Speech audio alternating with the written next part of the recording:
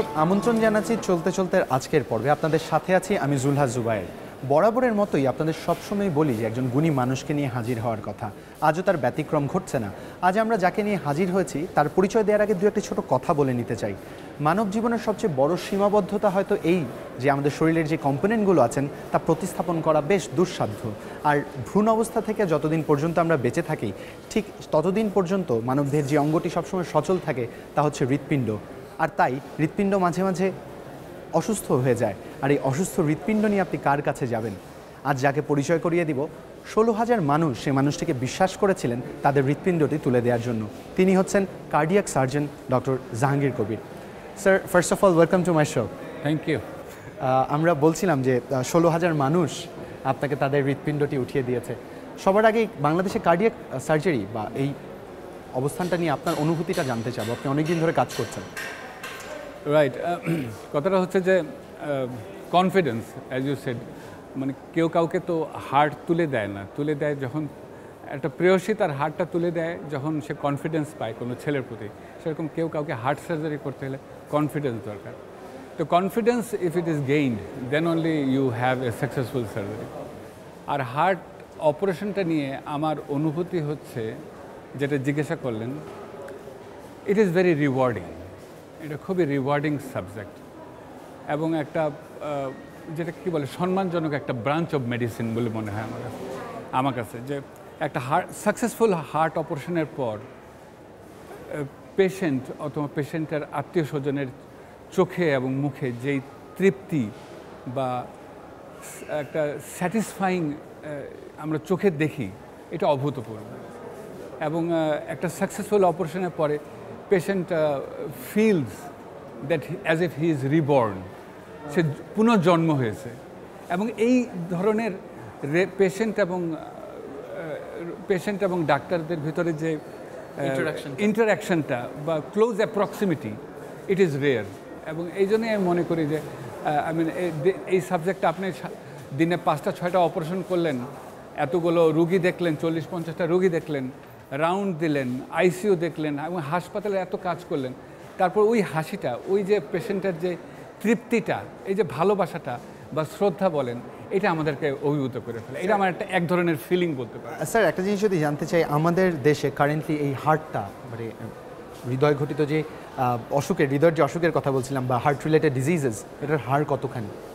শতকরা আপনি আপনার কাছে যদি মানে এটা বলাটা খুব ডিফিকাল্ট কারণ এই এই বিশ্বায়নের যুগে কম্পিউটারের যুগে এখনও আমাদের একটা ন্যাশনাল আইডেন্টি মানে ডাটা তৈরি হয়নি। কিন্তু আমি এই উত্তরটা অন্যভাবে দেই যে the cardiac heart disease is the number one killer এক নম্বর কিলার এবং after every three deaths there is one heart death হার্টের কারণে মৃত্যুর হার, তিনজনের ভিতরে একজনই হার্টের আমাদের একটা জিনিস জেনে অবাক হবেন যে এই এখন যে বর্তমানে যে ডিজিজটা এই বিশ্বে, বিশেষ করে ইন্ডিয়া, বাংলাদেশ, পাকিস্তান, এইখানে হার্টের রোগটা, বিশেষ করে করোনারি হার্ট ডিজিজ যেটার জন্য বাইপাস করা হয়, অনেক পরিমাণ বেড়ে যাচ্ছে। এখন এটা স্ট্যাটিস্টিক নাই, কেন বেড়ে যাচ্ছে? এখন যদি আপনাকে আমি বলি, ইন্ডিয়া যাদের ইকোনমিক্যাল অবস্থা ভালো, আপনি যে দেখবেন, ওদের হার্টের হসপিটালের সংখ্যা বেড়ে গেছে।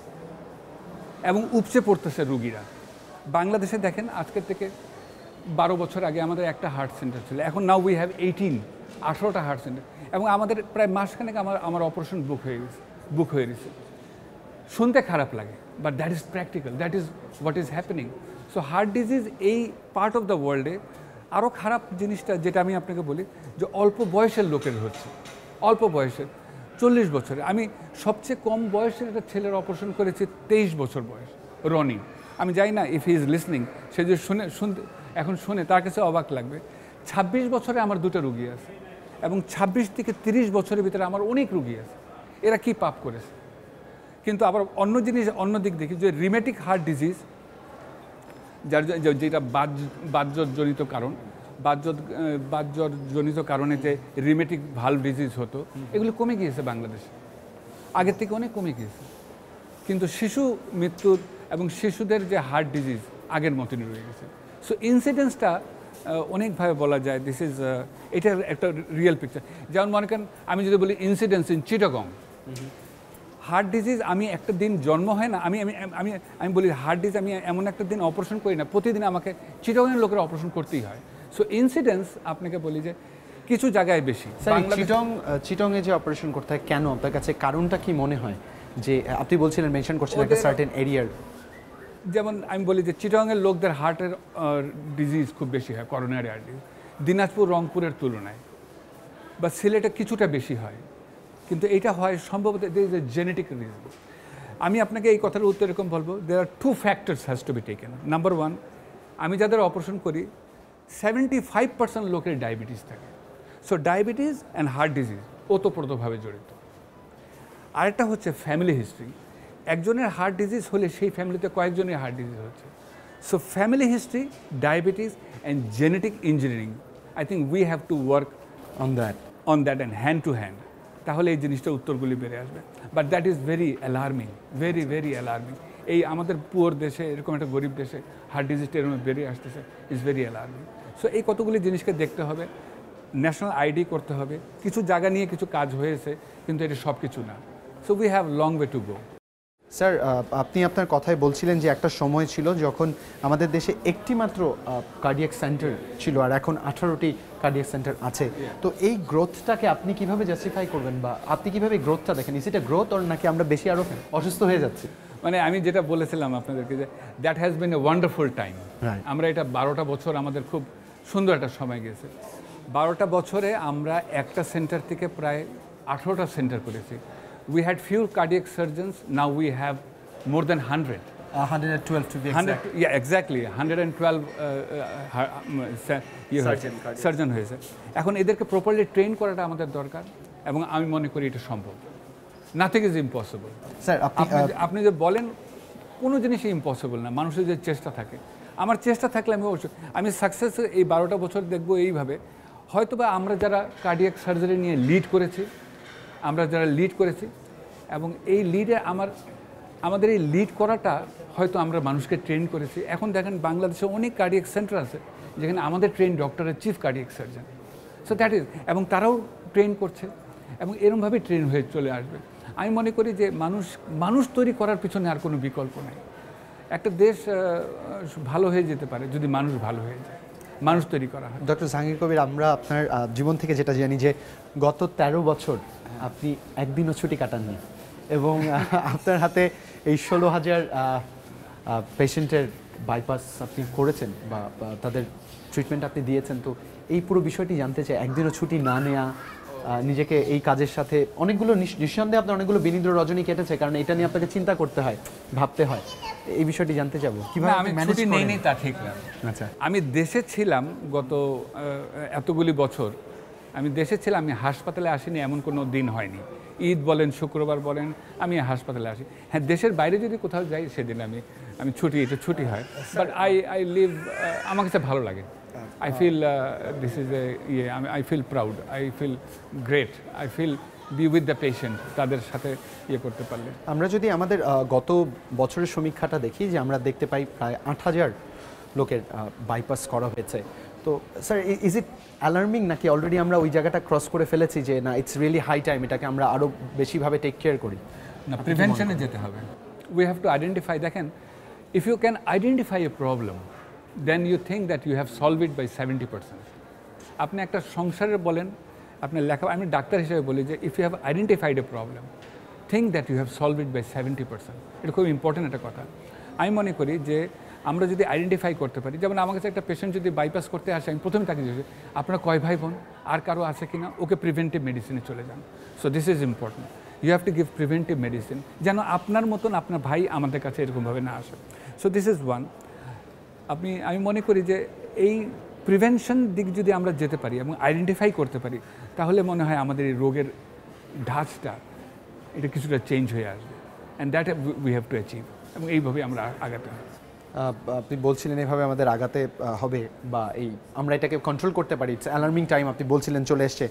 তো আপনার কি মনে হয়, আমরা কি ওই প্রপার ট্র্যাকের দিকে আগাচ্ছি? মানে আমাদের ইনফ্রাস্ট্রাকচারগতভাবে যদি আমরা চিন্তা করি ডেভেলপমেন্ট বা আমরা যদি আমাদের যারা পৃষ্ঠপোষকতা করেন এই বিষয়টাকে, তাদের কথা যদি চিন্তা করি, এরকম অনেস্টভাবে কি আমরা চেষ্টা করছি এখন? আমার মনে হয় যে পৃষ্ঠপোষকতা এটা আমি বুঝি না।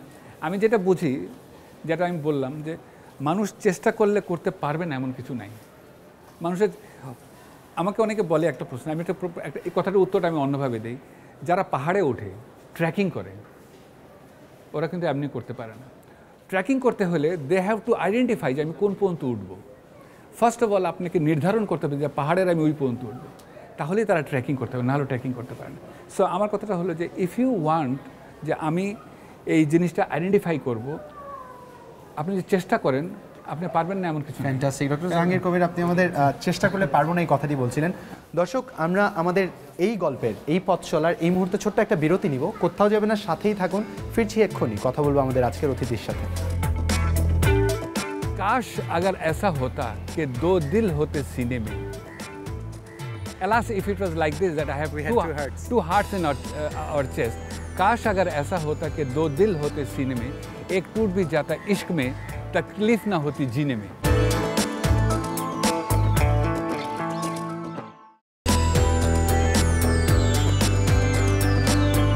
দর্শক বিরতির পর আরও একবার স্বাগত জানাচ্ছি চলতে চলতে এই আয়োজনে যেখানে আমরা কথা বলছিলাম কার্ডিয়াক সার্জন ডক্টর জাহাঙ্গীর কবিরের সাথে আহ, স্যার আমরা বিরতিতে যাওয়ার আগে ইনফ্রাস্ট্রাকচার নিয়ে কথা বলছিলাম তো এই মুহূর্তে একটা জিনিস আমার খুব বেশি জানতে ইচ্ছা করছে তা হলো আহ, একটা পেশেন্টের আপনি যখন অপারেশন করছেন এবং তার যখন ফিরে আসা এই যে তার সেকেন্ড লাইফটার এই এই যে ইমোশনটা তার চোখে, আপনি কীভাবে দেখেন?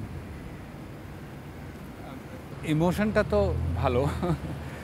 পেশেন্ট ভালো হয়ে গেলে আমি খুব খুশি হই এবং সবাই ভালো হয়। আমাদের তো মর্টালিটি বা মৃত্যুর হার করোনারি বাইপাসে এখন ওয়ান পার্সেন্ট এসে থেকেছে মানে ইনশাল্লাহ যত কঠিন কাজই হোক বাট আমাদের এখন হাতের স্কিল বলেন ইয়ে বা আমার হাতে যারা ট্রেন ডক্টররা হয়েছে the success rate is nearly ninety ninety nine percent তো that is a very big thing এবং আমি যেটা বললাম যে the feeling is, I mean, when you see a patient and he has recovered, and the relatives and patient নিজের চোখে মুখে যে আনন্দটা ফুটে ওঠে এটা অভিভূত করে। ইট ইজ রেয়ার এটা বিরল।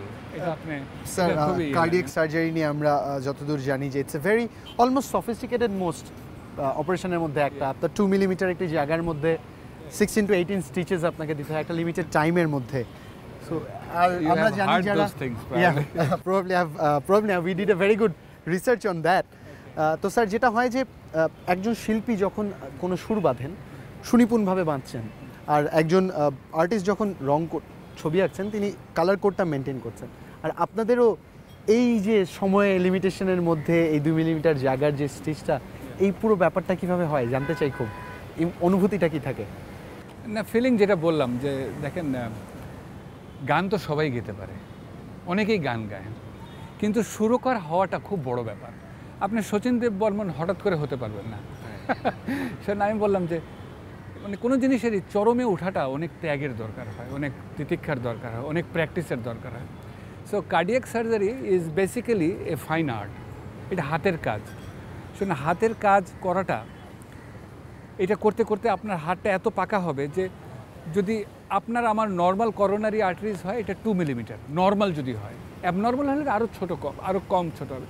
এবং এটা যখন অসুস্থ হয় ওয়ান মিলিমিটার বা one point five millimeter and you have to put the stitches bypass করতে হবে।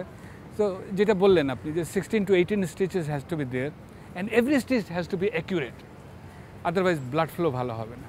So that part is important that is a fine art আমি যেটা বলি আর কি। যে নিউরো সার্জারি হোক কার্ডিয়াক সার্জারি হোক প্লাস্টিক সার্জারি যারা কসমেটিক সার্জারি করে that is also very fine art but the question is in difference হলো যে plastic surgery you have lavish time আপনি একটা কাজ প্রায় আধা ঘণ্টা, এক ঘণ্টা পরে করতে পারেন। কিন্তু কার্ডিয়াক সার্জারি ওই ফাইন আর্টটাকে বা ফাইন কাজটাকে আপনাকে নির্দিষ্ট সময় করতে হবে, নাহলে হার্টটা নষ্ট হয়ে যায়, মরে যায়। সাকসেসফুল হবে না operation so that is the talent of a surgeon ever you you have to do a precise precisions should be there with a limited time that is the beauty of cardiac surgery আমাদের দেশে এখন এই success rate বলছিলেন আপনি অনেক high almost near to hundred percent. তো sir একটা সময় আমাদের দেশে বাইরে বিদেশ থেকে সার্জেনরা এসে সার্জারি করে গেছেন এবং আপনি অ্যাজ এ সার্জেন বিষয়টা কি কোনোভাবে আপনাকে ব্যথিত করে? যে আমাদের দেশে তো ছিল যোগ্যতা ছিল কেন ও। বাইরে থেকে না আমি মনে করি যে মানুষের তো জীবন একটাই। সে তার জীবনকে সবচেয়ে বেশি ভালোবাসে। সে ভালোবাসার জন্য সে যদি বিদেশে যায় বা বিদেশি ডাক্তার যদি এখানে আসে, সে ভালো হয়, আমার কোনো ইয়ে নেই। কিন্তু আমি এজ এ বাংলাদেশি মানুষ হিসাবে আমি মনে করি যে I am very indigenous people I like core people I like inborn যে জায়গাটা, মাতৃভূমি, এই জায়গাটা। আমি মনে করি যে বাংলাদেশের মানুষ, বাংলাদেশের ডাক্তারকে দিয়ে একটা সুচিকিৎসা হোক, সুচিকিৎসা। এবং সে একটা রিজনেবল প্রাইসে এবং সে সুস্থ হোক এবং সে তার সুস্থ হওয়ার পরে সে যদি তার নাগরিকত্ব নিয়ে গর্ববোধ করে I am happy I am more than happy সেজন্য বিদেশে কেউ ডাক্তার আসুক আমি আমার আমার কাজ যদি আমি করতে না পারি তো বাইরের থেকে তো লোক আসবেই। That is that is norm আমি যদি আমার বাসায় যদি ঝগড়া হয় আমি যদি মিটমাট না করতে পড়োশিরা তো আসবে সমাধান করে সমাধান করে দেওয়ার জন্য। So that is one thing but I always like যে আমাদের কাজ যেন আমরা করতে স্যার, আপনার সবসময় টার্গেট ছিল যে এই যে নাগরিকত্বের বা নাগরিকদের গর্ব করার বিষয়টা, আপনি সবসময় চেয়েছেন যত অল্প খরচে এই জিনিসটি মানে এই সার্জারিটি করা সম্ভব হয়। আপনার সবসময় চেষ্টা ছিল এটা।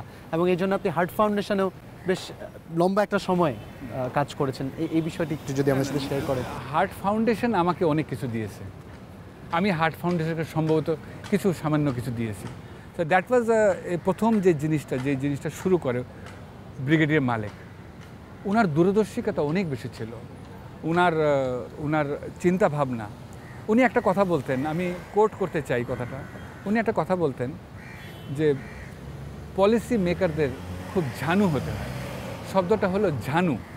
ঝানু শব্দটা যে বলতেন, আমি স্যারের এই কথাটা কনসিভ করতে আমার খুব ইয়ে লাগতো যে, ঝানু যে বলতো, খুব অভিজ্ঞ লোক ছাড়া এই জিনিসটা করতে পারে না। স্যার তখন খুব অল্প পয়সায় আমাকে অপারেশন করতে দিয়েছেন। অ্যান্ড দ্যাট ইজ ওয়াই দিয়েছেন বলে আমরা এই পর্যন্ত। সুযোগ পেয়েছি। So, হ্যাঁ so that was his policy আমি পলিসি মেকার সবাই হতে পারে না। পলিসি মেকার হতে হলে অনেক কিছু দরকার হয়। এটা সারি বলতেন। সেটা আমার কথা হলো যে heart foundation was a very big যেটা মানুষকে আস্থা দিয়েছে মানুষকে ইয়ে মানুষকে চিকিৎসা দিয়েছে আস্থা দিয়েছে এবং কনফিডেন্সটা এমন একটা জিনিস is is sort of tug of war tug of war মানে আপনি আমার কাছে যদি একটা হার্ট অপারেশন করতে আসেন আপনি দেখবেন আমি পারি কি না পারলেই তখন আপনি আমার কাছে আসবেন। হার্ট তো একটাই। উর্দুতে একটা শের আছে সেটা বলি আপনাকে এটা পরে একটা গানও হয়েছিল ওরা বলে কাশ अगर ऐसा होता कि दो दिल होते सीने में alas if it was like this that I have We had two, two hearts. two hearts in our, uh, our chest काश अगर ऐसा होता कि दो दिल होते सीने में एक टूट भी जाता इश्क में तकलीफ ना होती जीने में বাহ বলে তকলিফ না এ- একটা হার্ট যদি প্রেমে ভেঙেও যেত আমার আরেকটা হার্ট নিয়ে বাঁচতে হতো কষ্ট হতো না। Because we have two kidneys two eyes two knees সব কিছু দুটো দুটো আছে। কিন্তু হার্ট ব্রেইন অনলি একটা। কিছু হয়ে গেলে মানুষ তার হার্টের চেয়ে বেশি ভালো কাউকে বাসে না। হৃদয় নিজের হৃদয়ের চেয়ে বেশি ভালো কাউকে না। ইউ নো আমি বললাম কথাটা হয়তো বা আমি একটু সিম্পলি কথাটা বললাম but this is this haves a meaning of very deep যে আপনি আপনাকে হার্ট সার্জারি করতে আসবে মানুষ অনেক চিন্তা করে। ডাক্তারের কথা চিন্তা করে না ওরা চিন্তা করে রুগীর কথাও। একটা রুগীর কথা শুনে যে ভাই আপনি কোথায় অপারেশন করেছেন? ও আমি তো অমুক জায়গায় অপারেশন করি ওখানে যাব? বলে হ্যাঁ যান। ডাক্তাররা বললেও মানুষ তার জীবনকে এত ভালোবাসে সে ওখানে চলে যায়। So this is very important thing বাংলাদেশে এই বিষয়টিকে ফেমাস করার জন্য বেশ কষ্টসাধ্য এক রাস্তা আপনাদের পাড়ি দিতে হয়েছে কারণ ডেথ রেটটাকে কন্ট্রোল করা সাকসেস রেটটাকে হাই করা এক্সপেন্সটাকে কমিয়ে নিয়ে আসা নিঃসন্দেহে কঠিন একটা কাজ ছিল আপনাদের জন্য এবং বেশ দক্ষতার সাথে আপনারা তা পালন করেছেন। এখন যদি এসে আপনাকে জিজ্ঞেস জিজ্ঞেস করি বা জানতে চাই যে, স্যার সোফার আপনার এত বছরের service how do you see yourself আপনি নিজেকে কোথায় দেখেন বা কীভাবে দেখেন? আসলে আমরা যারা হার্ট সার্জারিটাকে বাংলাদেশে লিড করেছি বা নেতৃত্ব দিয়েছি, আমি বলব হয়তো বলতে হয় এরমভাবে যে মেবি উইভার সিনসিয়ার আমরা অক্লান্ত পরিশ্রম করেছি। হার্ট সার্জারি করতে হার্ট ফাউন্ডেশনে আমি সকাল থেকে রাত্র বারোটার থেকে দুটার ভিতরে বাসায় যেতে পারতাম। দ্যাট ওয়াজ এ সাত বছর এরকম কাজ হয়েছে। ইউ আস্ক এনবিডি এবং আমি তখন কোথাও, এই যে প্রতিটা দিন ছটা করে অপারেশন করা, রাত্র দুইটার সময় বাসায় যাওয়া, একটার সময় বাসায় যাওয়া ইট ওয়াজ এ ভেরি এটা খুব কষ্টসাধ্য।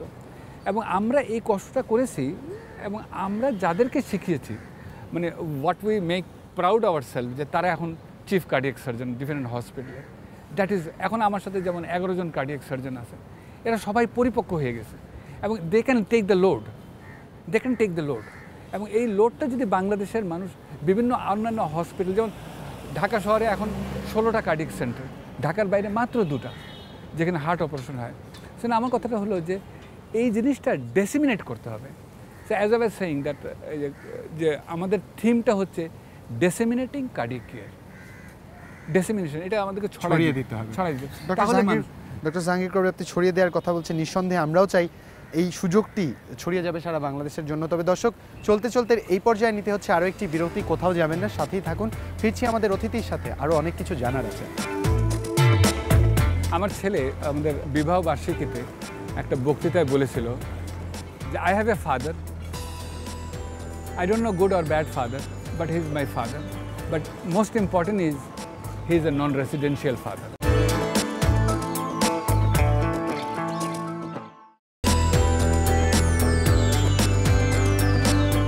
দর্শক, বিরতির পর আরও একবার স্বাগত জানাচ্ছি চলতে চলতে এই আয়োজনে, যেখানে আমরা কথা বলছিলাম কার্ডিয়াক সার্জন ডক্টর জাহাঙ্গীর কবিরের সাথে। স্যার, আমরা আপনার প্রফেশনাল লাইফ নিয়ে বেশ কিছুটা জানলাম। এবার ইফ ইউ ডোন্ট মাইন্ড আমরা আপনার পার্সোনাল লাইফ নিয়ে দু একটা প্রশ্ন করব। সেটা হচ্ছে যে আপনি নিজে ব্যক্তিগত জীবনে অনেক মানুষকে দেখে খুব ইন্সপায়ার্ড সেই মানুষগুলোর কথা জানতে চাবো। এর মধ্যে একজন হচ্ছেন আপনার মা লুৎফা হক এই মানুষগুলোর গল্পটা জানতে চাবো। তারা আপনার জীবনে কীভাবে প্রভাব রেখেছেন? আমার মা শি ইজ নাও এইটি প্রায় আশি বছর বয়স হয়েছে।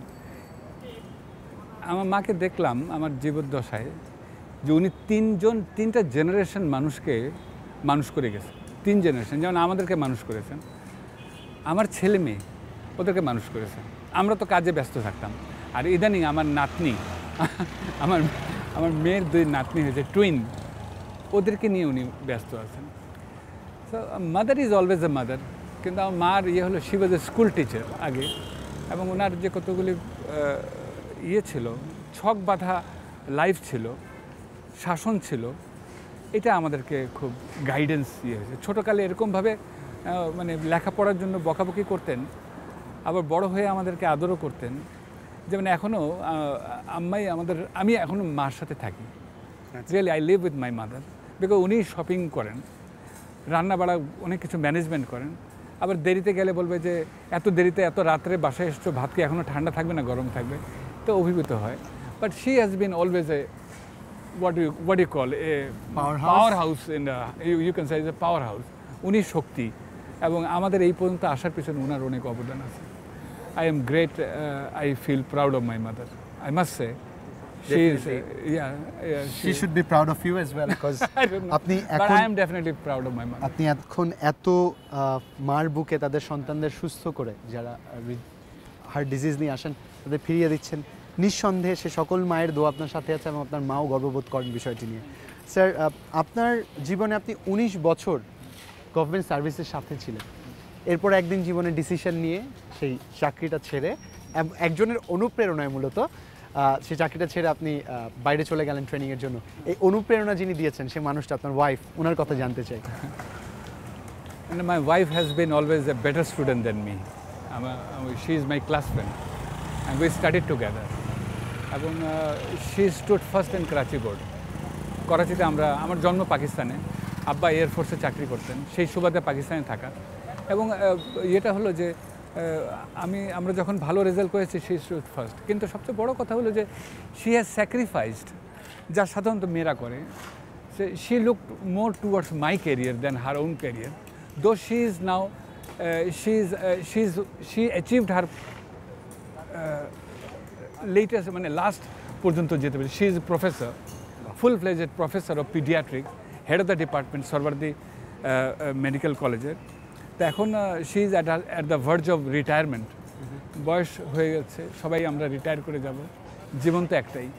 But she has sacrificed a lot she has uh, the family love the children I am proud and she held everything uh, so familiar in the family.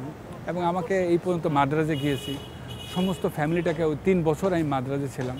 She has been taking care so that's something unique a understanding a really beloved good wife that I all I can say sir আপনি বেশ সকালে বাসা থেকে বের হন এবং অনেক রাত্রিরে বাড়ি ফেরেন। তো আপনার কখনো কি রিগ্রেট নিজের মধ্যে রিগ্রেট ফিল করেছেন যে হয়তো আমি আমার পরিবারকে সময় দিচ্ছি না বা জীবন তো শেষ হয়ে আসছে একটা সময় হয়তো আফসোস করব বা এমন কি হয়েছে? No, I mean, uh, I love work.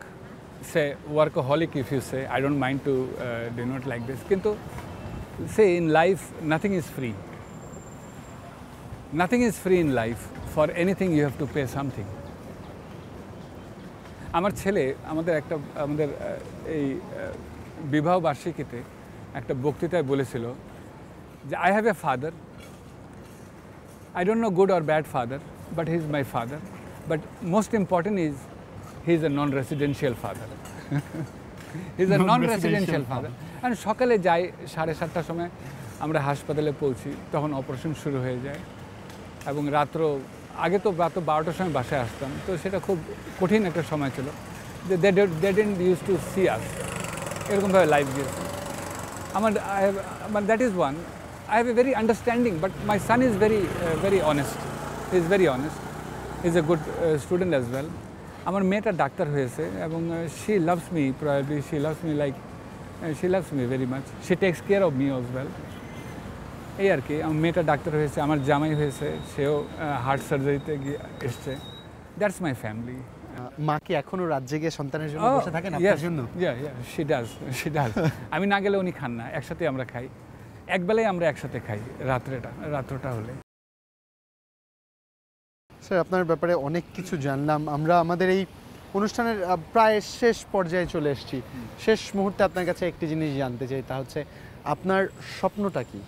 আপনার এই কার্ডিয়াক সার্জারি নিয়ে, আমাদের দেশের বর্তমান পরিস্থিতি নিয়ে cardiac surgery what you dream of I dream that heart ডিজিজের incidence যেন কমে যায়, এরকম একটা প্রিভেন্টিভ মেডিসিন শুরু করা লাইফস্টাইল শুরু করা।